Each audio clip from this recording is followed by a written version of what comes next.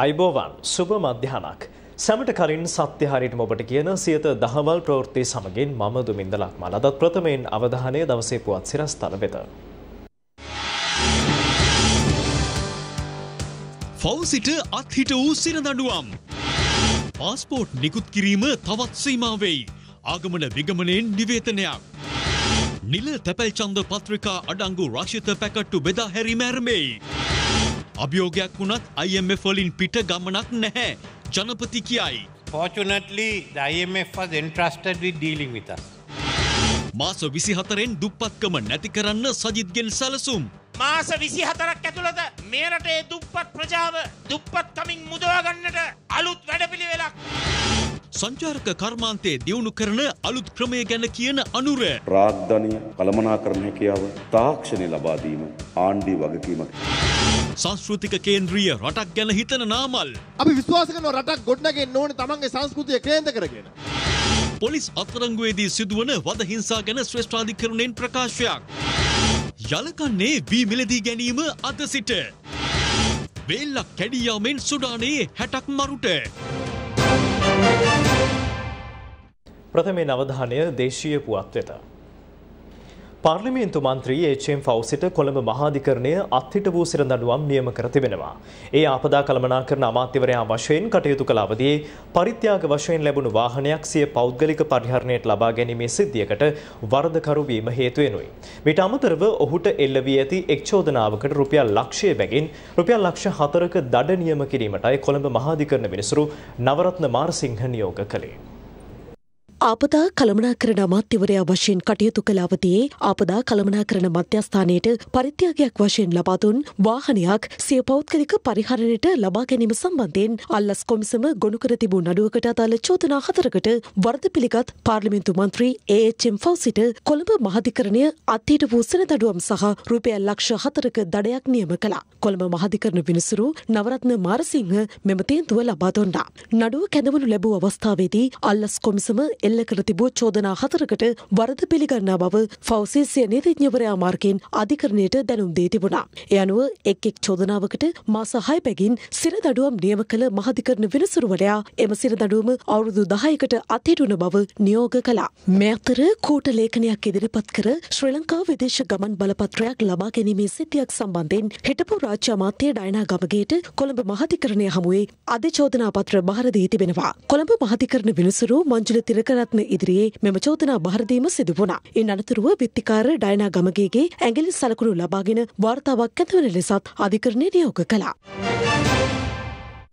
විදේශ ගමන් බලපත්‍ර නිකුත් කිරීම සීමා කිරීමට සිදුව ඇති බව ආගමන හා විගමන දෙපාර්තමේන්තුව යළිත් නිවේදනයක් නිකුත් කරමින් දැනුම් දී තිබෙනවා. කෙසේ වෙතත් ඇනවුම් කළ විදේශ ගමන් බලපත්‍ර 7,50,000ක ප්‍රමාණයක් ඔක්තෝබර් මාස අවසානයට පෙර ලැබෙන බවයි එම දෙපාර්තමේන්තුව වැඩිදුරටත් පවසන්නේ. හිස් විදෙස් ගමන් බලපත්‍ර ප්‍රමාණය සීමිත වීම හේතුවෙන් ගමන් බලපත්‍ර නිකුත් කිරීම සීමා කිරීමට සිදුව ඇති බව ආගමන හා විගමන දෙපාර්තමේන්තුව නිවේදනයක් නිකුත් කරමින් පවසනවා. නව ඉලෙක්ට්‍රෝනික විදෙස් ගමන් බලපත්‍ර හඳුන්වා දීමට රජ්‍ය පියවර ගෙන ඇති අතර ඒ සඳහා ජාත්‍යන්තර මිල ගණන් කැඳවීම මගින් විදේශීය සමාගමකට විදෙස් ගමන් බලපත්‍ර සැපීම සඳහා ටෙන්ඩරයක් දැනටමත් ප්‍රධානය වද ගමන් බලපත්‍ර තොග සීමිත වීම සැලකිල්ලට ගෙන ඉලෙක්ට්‍රෝනික විදෙස් ගමන් බලපත්‍ර ඇනවුම් කළ සමාගමෙන්ම සාමාන්‍ය විදේශ ගමන් බලපත්‍ර හත් ලක්ෂ පනස් දහසක් සපයා ගැනීමට කටයුතු කර ඇති බවයි එම නිවේදනයේ දැක්වෙන්නේ. මෙම විදෙස් ගමන් බලපත්‍ර තොගය ඔක්තෝබර් මස අවසානයේ හෝ ඊට පෙර දිවයිනට ළඟාවීමට නියමිතයි. එබැවින් ගමන් බලපත්‍ර තොගය සපයා ගන්නාත් එක් අත්‍යවශ්‍යම හේතුවක් මත පමණක් විදේශ ගමන් බලපත්‍ර සඳහා අයදුම් කරන ලෙසයි ආගමන විගමන දෙපාර්තමේන්තුව මහ ජනතාවගෙන් ඉල්ලා සිටින්නේ. කරන වැඩ ඇත්තටම අසාධාරණයි. ගොඩක් මිනිස්සු මෙතන දුක් විඳිනවා. කුඩා ළමයි පවා අරන් ඇවිල්ලා මෙතන බිම නිදි කරගෙන ඉන්නවා. ඉතින් අසරණ වෙලා ඉන්නේ මිනිස්සු. one day service. ඉතින් අපිට දැන් 3 day service වෙලා තියෙන්නේ. මේව බලන පිටරට මිනිස්සු hina වෙනවා. දැන් මේගොල්ලෝ පාස්පෝර්ට් නේම කියනවනම් මාස 6න් ඉස්සෙල්ලා මේගොල්ලෝ එකතු කරන්න බෑ. ඒගොල්ලෝ උමනාවට ඒගොල්ලෝ පාස්පෝර්ට් දෙන්න බැරි නම් මොකද මේ රටේ? ඊයේ සතිය ඊට ඊළඟ සතිය 55000 දෙලා පාස්පෝර්ට් හදලා දිනවා. සල්ලි දීලා හදලා යන්නත් අපිට බෑ. නිකන් හරි නොමිලේ දෙනවා කියනවා මාත්‍යෝ. අපේ වකඩුවක් ගලවගෙන තමයි මේගොල්ලන් නොමිලේ දෙන්නේ අපිට. බිත්තරයක් ගේන්න පුළුවන් නම් ඉන්දියාවේ ඉඳලා බිත්තර නැහැ කියනවා. මේ පොට්ටික ගේන්න පෙරද ලංකාවට? අපි යන්නේ මේගොල්ලන්ට ඩොලර් ටිකක් මේට ගෙන්න ගන්න නිකන් ඉල්ලන්නේ නැහනේ අපි සල්ලි දීලා තමයි පොට්ටික ඉල්ලන්නේ. ගෑස් පෝලින් නැති කරා වගේ. පුළුවන් නම් මේකත් නැති කරලා දෙන්න කියන්නේ. අපිට ඒ ආයතනයෙන් එවලා තියෙනවා ජොබ් ලෙටර් එකකුත්. ඒව මොනවත් බලන්නෙත් නැහැ. මෙයාලා ඒ වුණාට මේක රිජෙක්ට් කරලා දානවා එළියට. 100ක්වත් මං හිතන්නේ પાස්පෝර්ට් ඇතුලෙන් නිකුත් කරනවා කියලා. ජනාධිපතිතුමත් වැඩක් නැහැ කියන තමයි තියෙන්නේ. මොකද ඉතින් රටේ පොත් ටිකක් නිකුත් කරගන්න බැරි ජනාධිපතිගෙන් මිනිස්සුන්ගෙන් පලිගන්න මහජනතාවට දෙන පීඩනය නම් මහා අන්ත තුක්කිතයි. ඇයි මෙහෙම මිනිසුන්ට වද දෙන්න කියලා අයිඩෙන්ටිය ගන්නත් පොලිම යන්න ඕන බස් ලයිසන් එකට යන්න පොලිම යන්න ඕන පාස්පෝර්ට් පොලිම යන්න ඕන සීලු දෙයින් පොලිම පොලින් ඉවරේකට තාම පොලි මේ අහිංසක මිනිස්සු දුක් විඳලා හම්බ කරලා එන සල්ලි නැතයි මේ රට දුවන්නේ ඉතින් මේකට උදව් කරන්නේ නැති මොකුද ඉදිරි ජනාධිපතිවරණයට අදාළ නිල තැපැල් ඡන්ද පත්‍රිකා අඩංගු රක්ෂිත පැකට්ටු බෙදා හැරීම ආරම්භ කර තිබෙනවා. අද සහ හෙට එම කටයුතු අවසන් කරන බවයි තැපැල් දෙපාර්තමේන්තුව පවසන්නේ.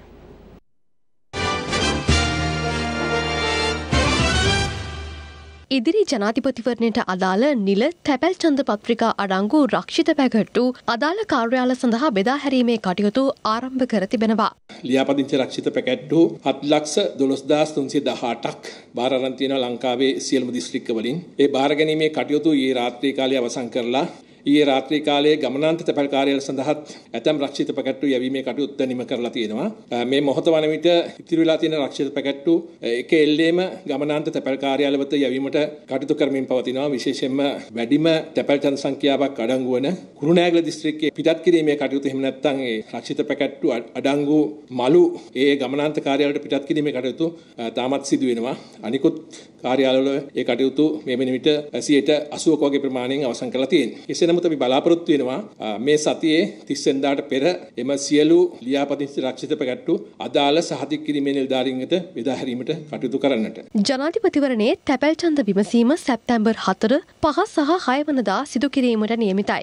එම දිනවල ඡන්දය ප්‍රකාශ කිරීමට නොහැකි රජයේ සේවකීන්ට සැප්තැම්බර් 11 සහ 12 යන දිනවලදී ඡන්දය ප්‍රකාශ කිරීමට හැකි බවයි මැතිවරණ කොමිසම සඳහන් කළේ.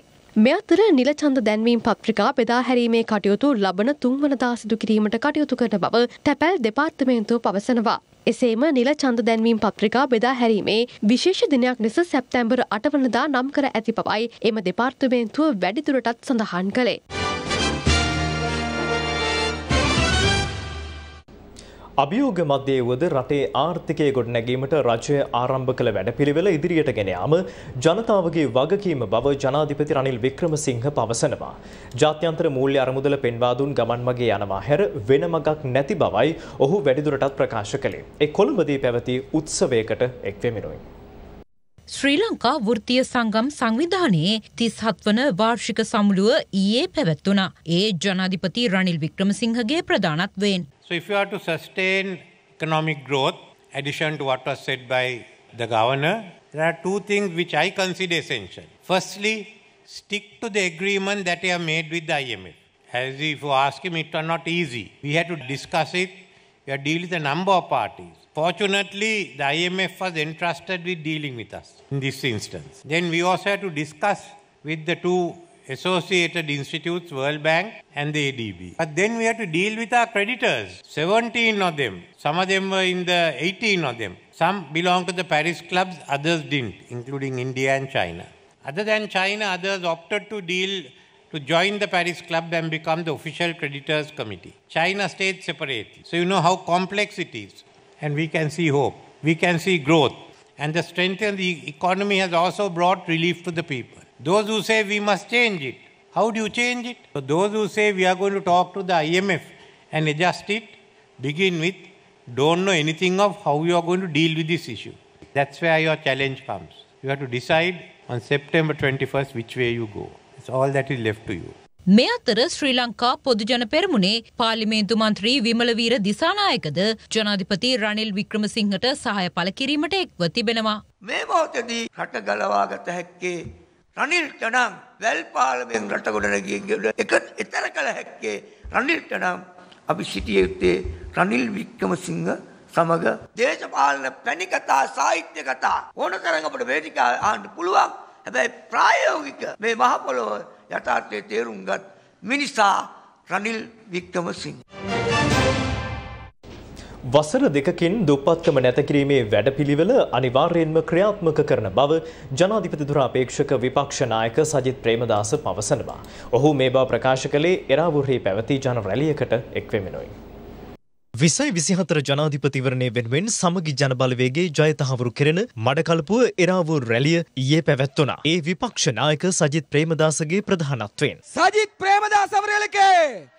இந்த நாட்டினுடைய ஜனாதிபதி அவர்களுக்கு ජාති ආගම් කුළමල පන්ති පක්ෂ කිසිම බේදයකින් තොරව අපි අපේ ජාතික ප්‍රතිපත්තිය ජාතික වැඩපිළිවෙල අපි ඉදිරියට ගෙන යනවා. පලස්තීන ජනතාව වෙනුවෙන් කොන්ද කෙලින් තියාගෙන අපි නැගී සිටිය හැමදාම කියපු කාරණාවක් තමයි හිට්ලර්ගේ නාත්සි ජර්මනියේ යුදෙව් ජාතිකින්ව ගෑස් චේම්බර්ස්වලට දාලා අමුවමුවේ ඝාතනය කරන එක අපි අද දවසෙත් හෙට දවසෙත් හැමදාම හෙලා දකිනවා. එහෙව් හානියකට පත්වුණු ඒ යුදෙව් ජාතිකින්ගෙන් සපිරි ඉස්රේල් ආණ්ඩුවට පලස්තීන ජනතාව සමූල ඝාතනයකට මහා සංහාරයකට ලක් කරන්නට කිසිම අයිතියක් නැහැ. මඩගලපු දිස්ත්‍රික්කයේ තිබෙන හැම පාසලක්ම ස්මාර්ට් ස්කූල් එකක් කරනවා. මඩගලපු දිස්ත්‍රික්කයේ තිබෙන හැම රෝහලක්ම ස්මාර්ට් හොස්පිටල් එකක් බවට පත් කරනවා. රජයෙන් වෙන් කරන සල්ලි වලට අමතරව අපේ ශක්තිය තුළ අපේ සම්බන්ධතා තුළ විදේශී ආධහරත් ලබාගෙන මඩගලපු දිස්ත්‍රික්කේ ඔබගේ අධ්‍යාපන අයිතිය ඔබගේ සෞඛ්‍ය අයිතිය අනිවාර්යෙන්ම ශක්තිමත් කරනවා කියන එක මම මේ අවස්ථාවේ ප්‍රකාශ කරනවා. මාස විසි හතරක් ඇතුළත මේ රටේ දුප්පත් ප්‍රජාව දුප්පත් කමින් මුදවා ගන්නට අලුත් වැඩපිළිවෙලක් ජනසවිය සමෘද්ධිය අස්වැසුම ගැමිදිරිය කියන මේ සියලුම වැඩසටහන් ඒකරාශී කරගත් පහලින් ඉහළට ගලාගෙන එන වැඩපිළිවෙලක් යටතේ හැම දුප්පත් පවුලකටම මාස 24කට මාසිකව රුපියල් 20000 ගානේ ලබා දීලා ආයෝජනය පාරිභෝජනය නිෂ්පාදනය ඉදිරි කිරීම අපනයනය කියන මේ අංශ පහ කේන්ද්‍ර කරගෙන සදාකාලිකව සහනාධාර ලබා දෙන යුගය නෙවෙයි. මාස 24ක් තුල වසර දෙකක් තුළ දුප්පත් ජනතාව දුප්පත් කලින් මුදවනුවමයි කියන එක මම මේ අවස්ථාවේ ප්‍රකාශ කරනවා. ව්‍යවසායකයාත් ආණ්ඩුවත් එකට එක්වී සංචාරක කර්මාන්තය දියුණු කළ යුතු බව ජනාධිපතිදුර අපේක්ෂක පාර්ලිමේන්තු මන්ත්‍රී අනුරකුමාර දිසානායක පවසනවා. සංචාරක ශේෂත්‍රයේ යටිතල පහසුකම් දියුණු කිරීම තම මූලික අරමුණ බවයි ඔහු වැඩිදුරටත් පවසන්නේ. ජාතික සංචාරක ප්‍රතිපත්තිය එළිදැක්වීමේ අවස්ථාවට එක්වෙමින් මන්ත්‍රීවරයා මේ බව සඳහන් කළා. එක මිටකට ජාතික ජනබලවේගේ ජාතික සංචාරක ප්‍රතිපත්තිය එළිදැක්වීම ඊයේ සිදු කෙරුණා. ඒ ජාතික ජනබලවේගේ නායක ජනාධිපති ධූරාපේක්ෂක පාර්ලිමෙන්තු මන්ත්‍රී අනුර කුමාර දිසානායකගේ ප්‍රධානත්වය නොයි. අපිට අලුත් ආර්ථික උපාය මාර්ගයක් වුණා ගමේ ඉන්න කෙනා ගමේම ඉන්න ගමන්. එයාගේ ආර්ථික ජීවිතයත් සමාජ ජීවිතයත් උසස් කරන්නේ කොහොමද? අන්න එහිදී අපි හිතනවා කර්මාන්ත ශාලාවක් ගමකට ගෙනෙනට වඩා විශේෂ විභවතාවයක් තියෙනවා සංචාර කර්මාන්තෙට. අපිට ටාගට් එකක් තියෙනවා. මම දැක්කා දැන් අපි ඉදිරිපත් කරා මිලියන 4ක ටාගට් එක. හැබැයි මේ මිලියන 4 වාර්ෂික අපේ ගුවන්තොටුපොලින් එන්න පටන් ගත්තොත් අවම පැය දෙකක් තුනක අතර කාලයක් යනවා මේ ගුවන්තොටුපොලින් එළියට එන්න. එහෙනම් මේ ඉලක්කයට යන්න නම් අනිවාර්ය අපේ ගුවන්තොටුපොලේ නේද වර්ධනයක් ඇති වෙ යුතුමයි. මොකද එය පුළුල් කරගන්නේ නැතුව අපේ සංචාර කර්මාන්ත ගැන හිතීමෙන් පළක් නැහැ. ඊළඟ අවම යටිතල පහසුකම් වැසිකිලි පද්ධතිය. මම කියන්නේ වැසිකිලියට ගියපුවාම ඒ රටේ තරම මැනෙනවා. මම කියන්නේ එක විට සියල්ල කියලා. නමුත් ප්‍රමුඛතාවයේ යුතුව ඔබ අප අතර සාකච්ඡා කරලා ඒ යටිතල පහසුකම් ටික අපි වර්ධනය කරන්න. නීතිමය රැකවරණ අවශ්‍යයි. මම යටිතල පහසුකම් විශේෂයෙන්ම එයාපෝට් එක වගේම ජාතික ගුවන් සේවක අවශ්‍යයි කියලා අපි විශ්වාස කරනවා. ප්‍රතිපත්තියක් ලෙස ජාතික ගුවන් සේවකට පක්ෂපාතී. හැබැයි යා ලංකා මොකද කරන්නේ? එනිසා අපි ඇත්තට මේක ගැන තාමත් අපි අධ්‍යයනය කරනවා. අලුත් කණ්ඩායම් මේ ශේත්‍රයට එන්න ඕන. අපි ඉලක්ක අදලා තියෙනවා ලක්ෂ 8ක රැකියාවන් ප්‍රමාණයක්. ලක්ෂ 8ක. අලුත් අය නිර්මාණය කිරීම සඳහා අවශ්‍ය වන ප්‍රාග්ධනය කළමනාකරණ හැකියාව තාක්ෂණය ලබා දීම ආණ්ඩුවේ වගකීමක් හැටියට අපි පවර ගන්නවා. අපි හදමු අලුත් පන්නේ ආණ්ඩුවක් ව්‍යවසායකයත් ආණ්ඩුවත් එකට කල්පනා කරමින් මේ ශේත්‍රයේ ඉදිරියට ගෙන යාම සඳහා ආණ්ඩුවක් අන්න ඒක තමයි අපි නිර්මාණය කරන ආණ්ඩුව.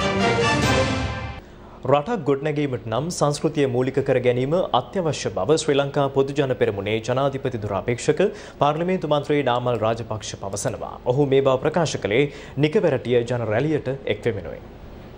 ශ්‍රී ලංකා පොදු ජන පෙරමුණේ ජනරැලියක් නිකවැරටියේදී ඊයේ පැවැත්වුණා. ඒ හිටපු අග්‍රාමාත්‍ය මහින්ද රාජපක්ෂ හා ශ්‍රී ලංකා පොදු ජන පෙරමුණේ ජනාධිපති දූර අපේක්ෂක නාම රාජපක්ෂගේ ප්‍රධානත්වයෙනුයි. සැරිසරන සූර්යෝදයේ උපංආමනා අපි විශ්වාස කරන රටක් ගොඩනගෙන්න ඕනේ තමන්ගේ සංස්කෘතිය කේන්ද්‍ර කරගෙන. බෞද්ධ වෙන්න පුළුවන්, කතෝලික වෙන්න පුළුවන්, ඉස්ලාම් වෙන්න පුළුවන්, හින්දු වෙන්න පුළුවන්. ඒ සංස්කෘතිය අපි ආරක්ෂා කරගන්න ඕනේ. අද සමාජයේ වෙන සමහර කාරණා දිහා බැලුවම ළමා අපචාර, ගෘහස්ත හිංසනය අපි එක පැත්තකින් දැඩි නීති මේ රටේ ක්‍රියාත්මක කළ යුතුයි. අවශ්‍ය නම් අලුත් නීති අපි හඳුන්වා දිය යුතුයි. අනිත් පැත්තෙන් අපේ හාමුදුරනේ වැටිච්ච සමාජය අපි ගොඩනගන්න ඕනේ. මේ වැටිච්ච සමාජය ගොඩනගන්න දේශපාලනයක අපිට විශාල වගකීමක් තියෙනවා. දේශපාලන පක්ෂවලට වගකීමක් තියෙනවා. ඒ වගකීම හඳුනගත්තු දේශපාලන බලවේගයක් තමයි ශ්‍රී ලංකා පොත්ජන පෙරමුණ. අද අපේ පක්ෂය ගොඩනැගිලා තියෙන සංස්කෘතියත් එක්ක. අපේ කමත් එක්ක. මේ රටේ දේශීය පදනමත් එක්ක. මහින්ද රාජපක්ෂ ජනාධිපතිතුමා මේ රටේ කෘෂිකර්මාන්තය කරපු සේවය මං හිතන්නේ කිසිම නායකයෙක් නායිකාවක් අපේ රටට කළා තියෙනවා කියන කාරණේ. උතුරු මැද මහයල, වයිඹ මහයල ගෝඨාභයගේ ආණ්ඩුවෙන් අපි පටන් ගත්තා. අවාසනාවකට අද ඒ සංවර්ධන යෝජනා ක්‍රම ඉතාමත් හිමින් යන්නේ. අපි වගකීමකින් කියනවා. වයිඹ මහයලේ වැඩ කටයුතු අපේ හාමුදුරුවනේ සැප්තැම්බර් මාසේ 22 අපි පිහිටවන ආණ්ඩුවෙන් ඉතාමත් කඩිනමින් අවසන් කරන්න අපි කටයුතු කරනවායි කියන එකත් අපි ඔබ තමුන්නාසට කියනවා. ජනාධිපති අපේක්ෂකයන් සහ දේශපාලඥයන් රටේ වත්මන් තත්ත්වය පිළිබඳ පළ කළ අදහස් දැන්.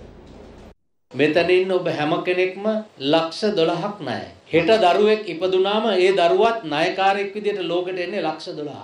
ණය වෙලා. කාලද ඇඳලද බීලද. අද බංකොලොත් රටක ඉඳගෙන මේ ණය කන්දරාව බිලියන 30000ක් අපි ගෙවන්න ඕන. ඒතර මේ 137ක් විදේශ ණය, අනිත් ඒවා දේශීය ණය. මේක තමයි එක පුජ්‍යලෙක්ගේ ගත්තම ලක්ෂ 12ක ණය. මම දන්නවා රනිල් කියන්නේ කවුද? රනිල්ගේ මොලේ කියන්නේ මොකද්ද? රනිල්ගෙන් වැඩ ගන්න තියෙන අවස්ථාව මං හිතන්නේ අපිට ඒ අවස්ථාව ආම්බෙන් ලැබුණා. ජාතික ජනබලවේගයේ නව ආණ්ඩුක්‍රම ව්‍යවස්ථාවක් සම්බන්ධයෙන් ඔවුන්ගේ ස්ථාවරය විදියට ඔවුන් ඉදිරිපත් කරනවා සංවාදයකින් අනතුරුව අවශ්‍ය වෙනස්කම් සිදුකොට ජනමත විචාරණයක් සමග සම්මත කරගනු ඇත. මං හිතන්නේ බොහොම හොඳ ප්‍රවේශයක් ලබා දීලා තියෙනවා. ඒ ලෙවල් විභාගයේ මේ අවුරුද්දම තියෙනවා. තව සති දෙක තුනකින් සාමාන්‍ය විභාගයේ ප්‍රතිඵල දෙන්නත් සූදානම් කරගෙන යනවා. එතකොට අපි ඒවා නියමිත කාලයේ පවත්වාගෙන ගියේ බරපතල ආර්ථික අර්බුදයක් තියෙද්දි ඒ විවේචනය කරපු අය අපි කරපු වැඩවල අවසාන ප්‍රතිපත්තියම තමන්ගේ ප්‍රතිපත්තිය බවට පත් කරන් තියෙන වෙනත් ආකාරයකින්. රනිල් වික්‍රමසිංහ මහත්තයා එක පාර්ලිමේන්තු මන්ත්‍රීවරයා ආසනයක් තියාගෙන එතුමා කිව්වේ මොකද්ද? එතුමා මේ වගකීම බාර ගන්න හැබැයි මට සියලු පක්ෂ උදව් කරන්න. ඉතින් අපි උදව් කරා. ඒ අපි උදව් කරපු නිසා තමයි වැටිච්ච රට බංකොලොත් වෙච්ච රට අවුරුදු දෙකක් කාල සීමාවක් තුල මේ රට ආවේ. මේ ජාතිවාදය අවසන් ඕන එකමක් නෑ. ආගම්වාදයක් අවසන් ඕන කමක් නෑ. මුස්ලිම් සිංහල දැන් ඉස්සරහන් මේ නත්තලත් අපි සෑම සෑම ජාතියක්ම සෑම ආගමක්ම සලකනවා. ඒ වගේ මුස්ලිම් උත්සව සලකනවා. ඒ නිසා මේ විදිහට අපි සමාජය වෙනස් වෙලා ඉන්නේ. මේ ලබන මාසයේ 21 වෙනිදා වෙනකොට ජයපැම් බොන්න සූදානම් වෙලා එමු. මේ රට යහපත් අනාගතයක් වෙනුවෙන් රනිල් වික්‍රමසිංහ මැතිතුමාට බාර දෙමු. ෆිල්ම් එකක් පෙන්වන්න කලිනුත් බෙල් තුනක් ගහනවනේ. පළවෙනි බෙල් එක ගහපු ගමන් ෆිල්ම් එකේ අග්ගිස්ස හොයන්න යන්න එපා. එච්චර ඉක්මන් වෙන්න එපා. ෆිල්ම් එක පෙන්නයි. තිරේ ඇරෙයි. ඒ නිසා කලබල වෙන්න එපා. කොමර්ෂල් බ්‍රේක් යන්න පුළුවන් ඒ අතරතුර. එතුමා අභියෝගයක් තියෙන අවස්ථාවේදී බාර අරගෙන තමාගේ ගෙදර පුච්චනකොට ඇඳුමක් නැතුව බාර ගන්න යන අවස්ථාවක් තියෙන විට ඒ අභියෝගයට බය නැතුව කතා කරලා වැඩ කරලා ඔප්පු කරලා තියෙන පුද්ගලයා තමයි රනිල් වික්‍රමසිංහ. පොලිස් අත්අඩංගුවේදී සිදුවන වදහිංසා වැළැක්වීම සඳහා අධිකරණය නිකුත් කර ඇති නියෝග ජාතික පොලිස් කොමිසම හෝ පොලිස්පතිවරයා සැලකිල්ලට ලක් කර නැති බව ශ්‍රේෂ්ඨාධිකරණය පවසනවා. ඒ මූලික අයිතිවාසිකම් පෙත්සමක් සලකා බැලීමෙන් අනතුරුවයි.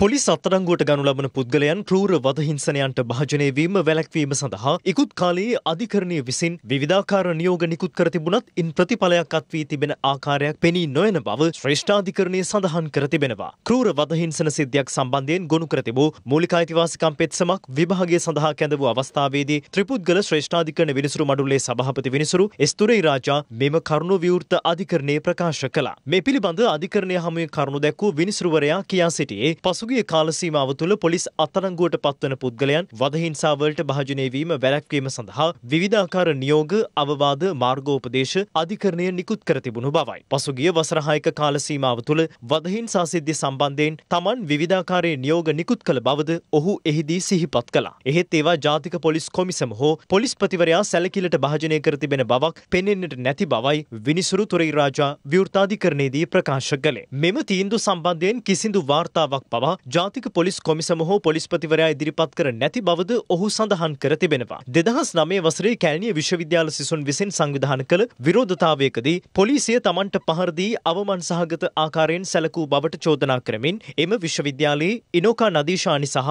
අනූජ සමන්ත යන ශිෂ්‍ය ක්‍රියාකාරිකයන් දෙදෙනා ගොනු කළ මූලික අයිතිවාසිකම් පෙත්සම කැඳ වූ අවස්ථාවේදී විනිසුරුවරයා මෙම අදහස් පළ කළේ. එහි වගඋත්තරකරුවන් ලෙස එවක පෑලියගොඩ පොලිසියේ පොලිස් පරීක්ෂකවරයෙකු ලෙස කටයුතු කළ අජන්ත පුෂ්පකුමාර කිරිබත්ගොඩ පොලිසියේ පොලිස් පරීක්ෂක චන්දන ගමගේ පොලිස්පතිවරයා සහ නීතිපතිවරයා නම් කර තිබුණා. ත්‍රිපුද්ගල විනිසුරු මඩුල්ලේ සභාපති විනිසුරු තුරේ රාජා සඳහන් කළේ මෙම නඩුකරේ වගඋත්තරකරුවන් විසින් පෙත්සම්කරුවන්ගෙන් සමාව අයද යම් වන්දියක් ගෙවා නඩුකරේ සමතයට පත්කර ගැනීම යෝග්‍ය බවයි. මේ සම්බන්ධයෙන් වගඋත්තරකාර පොලිස් නිලධාරීන්ගේ ස්ථාවරය විමසා අධිකරණයට දැනුම් දෙන ලෙස ඔවුන්ගේ නීතිඥවරුන්ට දැනුම් දුන් විනිසුරු මඩුල්ල අදාළ පෙත්සම යළි ඔක්තොම්බර් 11 වනදා කැඳවන ලෙස නියෝග කළා. දැන් රටවටා පුවත් කිහිපයක් කෙටියෙන්. අතුරලිය යහමුල්ල බෝධිරුක්කාරාම විහාරස්ථ ගම්භාර පෙරහැර අද ආරම්භවීමට නියමිතයි. ඊට අදාළ කප්සිටුවීමේ පින්කම පසුගියදා පැවැත්වුණා. ඒ පරිවේනාධිපති යහමුල්ල බෝධිරුක්කාරාමාධිපති යහමුල්ලේ අනුරුද්ධ ස්වාමින් වහන්සේගේ අනුශාසනා පරිදි. ශ්‍රී ලංකා නාවික හමුදාවේ නව මාණ්ඩලික ප්‍රධානී ලෙස රිය අද්මිරාල් කාංචන බානගොඩ පත් කර තිබෙනවා. ඊට අදාළ පත්වීම් ලිපිය නිල වශයෙන් ප්‍රධානය කිරීම ඊයේ සිදු කෙරුණා. ඒ නාවික හමුදාපති වයිස් අද්මිරාල් ප්‍රියන්ත පෙරේරාගේ ප්‍රධානත්වයෙන් නාවික හමුදා මූලස්ථානයේදී. ජනාධිපති දුර අපේක්ෂක පාර්ලිමේන්තු මන්ත්‍රී ෆිල්ඩ් මාශල් සරත් පොන්සේකාට සහය පල කිරීම සඳහා යුගදිරිය නිර්මාතෘ සහ සභාපති අරුණ එස් බණ්ඩාර මෙල්බන්ඩුවර සිට ඊයේ රාත්‍රයේ කටුනායක ගුවන් තොටිපලින් මෙරටට පැමිණියා. පොලිස් විශ්‍රාමික හරසර ප්‍රනාම වැඩසටහනක් ඊයේ මාතරදී පැවැත්වුණා. ඒ දකුණු පළාත් භාර ජේෂ්ඨ නියෝජ්‍ය පොලිස්පති මහේෂ් සේනාරත්න මාතර හම්බන්තොට දිශාව භාර නියෝජ්‍ය පොලිස්පති නිශාන්ත සොයිසා සහ මාතර කොට්ටාස භාර ජේෂ්ඨ පොලිස් අධිකාරී පණ්ඩුල වීරසිංහගේ ප්‍රධානත්වයෙනුයි. විශ්‍රාම ලැබූ පොලිස් නිලධාරීන් විසි දෙදෙනෙකු ඇගීමට ලක්කිරීම මෙහිදී සිදු කෙරුණා. ලෝක ආරක්ෂක සේවා ශිෂ්‍ය බට ක්‍රීඩා තනගාවලිය සඳහා ශ්‍රී ලංකාවේ ආරක්ෂක සේවා නියෝජනය කරමින් සහභාගී වූ ශ්‍රී ලංකා යුද හමුදාවේ ගයිනි වාසනා චතුරංගී සහ සාවින්දී ජයවීර ලෝකඩ පදක්කම් දෙකක් හිමිකර ගැනීමට සමත්ව තිබෙනවා. මෙම ක්‍රීඩිකාවන් අද උදැසන කටුනායක ගුවන්තොටුපලින් දිවයිනට පැමිණියා. මම සහභාගී වුණා ලෝක කැඩේ සුරතාවලියට පිහිනුම් මිස්සව්වෙන්. මම ඉවෙන්ට්ස් කරා හයක් තුන්වෙනි ස්ථානය ලබා ගන්න පුළුවන් වුණා 50 free 100 meters back stroke. ඇත්ත වශයෙන්ම හතරවන ලෝක මිලිටරි මල්ල ක්‍රීඩා වලට සහභාගී වෙලා ඉවෙන්ට්ස් දෙකකට මම සහභාගී වුණා 100 meters සහ ලෝන් ජම්ප්. ඒකෙන් 100 meters වලින් හත්වෙනි ස්ථානයත් ලෝන් ජම්ප් එකෙන් පළවෙනි ස්ථානයත් දිනා ගන්න හැකියාව ලැබුණා. සැමියා සිදු කළ පහරදීමකින් බිරිඳ ඝාතනයට ලක් වූ පුවතක් අපට වාර්තා වුණා. ඒ හබරන එපාවල ප්‍රදේශයෙන්. නීතිඥ වෘතියේ නිරතවීම තහනම් කරමින් ශ්‍රේෂ්ඨාධිකරණය විසින් නියෝගයක් නිකුත් කර තිබියදී එම නියෝගය උල්ලංඝනය කරමින් අදාළ වෘතියේ නිරතවීම තුළින් අධිකරණයට අපහාස කළේ යැයි චෝදනා එල්ල වී සිටින කැකිරාව ප්‍රදේශයේ පදිංචි නීතිඥවරියකට අධිකරණයේ අවසරයකින් තොරව විදේශගතවීම වලක්වාලමින් ශ්‍රේෂ්ඨාධිකරණය ඊයේ නියෝගයක් නිකුත් කළා. ඒ එස් තුරෙයි රාජා කුමුදුනී වික්‍රමසිංහ සහ ජනක්ද සිල්වා යන අයගෙන් සමන්විත ත්‍රිපුද්ගල ශ්‍රේෂ්ඨාධිකරණ විනිසුරු මඩුල්ලක් ඉදිරියේදී. දහවල් ප්‍රවෘත්ති අවසන් ඊයේ සවස විකාශය වූ ටෙලිවිෂන් ටෙලිවැකිය දැන්. රටේ ලෝකෙ සිදුවන උණුසුම් පුවත් දැනගන්න සියත නිවස් YouTube channel එක අදම subscribe කරන්න.